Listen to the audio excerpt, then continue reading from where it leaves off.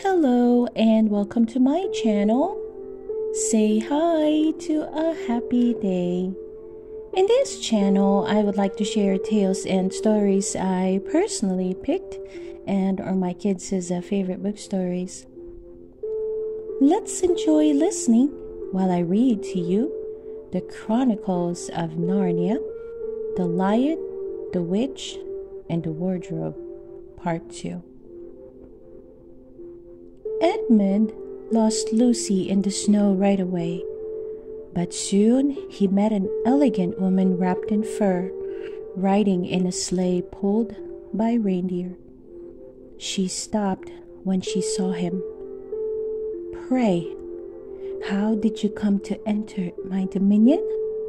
She asked in an angry voice. Nervously, Edmund stammered.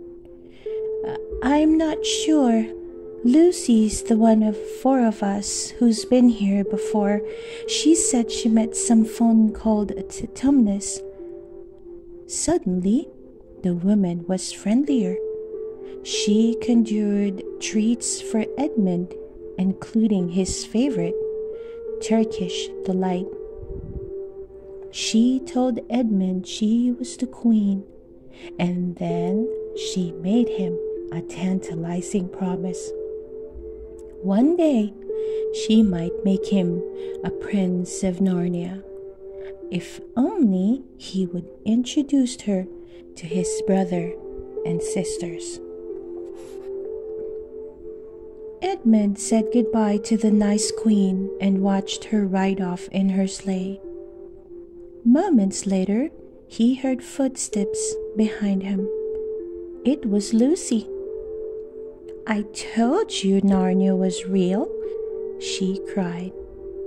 Lucy told him where she'd been. I saw Mr. Tumnus, she explained. He's fine. The White Witch hasn't found anything about him meeting me. Edmund froze. He looked down at the sleigh tracks in the snow. Are you all right? Lucy asked. You look awful. What you expect? I'm freezing. How do we get out of here? To Peter and Susan, Edmund pretended there was no such thing as Narnia. Even when Lucy had cried and begged her siblings to believe her, Edmund still denied it. But then one day, he accidentally hit a cricket ball through a window at the professor's house. Mrs. Macready came running to check out the damage. The four kids were cornered until they crammed into the wardrobe. When they wandered through the coats and felt the wet snow beneath their feet, everyone knew Lucy was telling the truth. You little liar, Peter said to Edmund threateningly. The others hardly spoke to Edmund as they plodded through the snow to visit Mr. Tumnus, but soon they had a bigger problem on their hands. The Faun's house was ruined, and Mr. Tumnus was gone. Lucy was sure it was her fault, but if Mr. Tumnus had been turned to stone, she was determined to find him. Then two talking beavers appeared to help.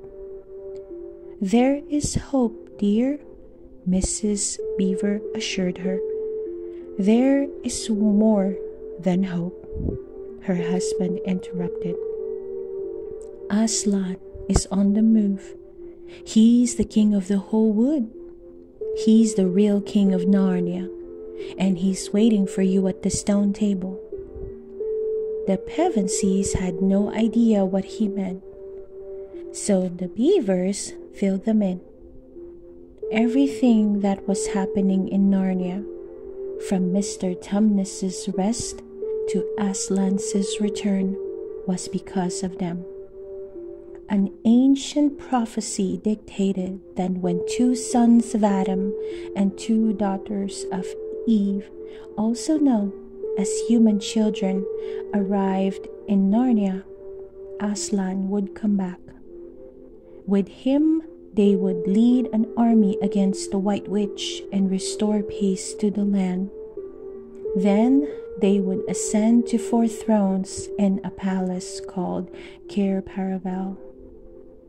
None of it made sense to Susan. There were no such things as witches. She didn't care to be a queen. She just wanted to go home. It was much too late to leave, though.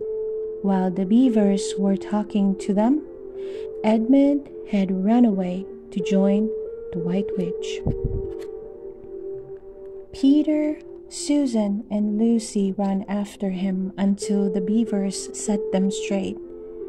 If they followed their brother, they would walk through into the hands of the witch, who was waiting to pounce. They would have to go directly to Aslan. He was the only one who could help Edmund now.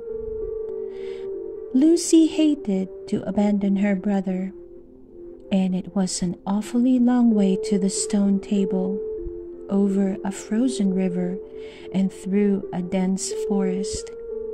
Even worse, the witch's wolves were on their trail. Suddenly, she heard them. Lucy flew into the woods, diving after Peter, Susan, and the beavers into a small cave. Soon she could hear sleigh bells right outside. It had to be the witch herself. I hope you enjoy listening to the Chronicles of Narnia, The Lion, the Witch, and the Wardrobe Part 2. Please don't forget to hit that like button and subscribe to listen to more of our favorite book stories. See you soon!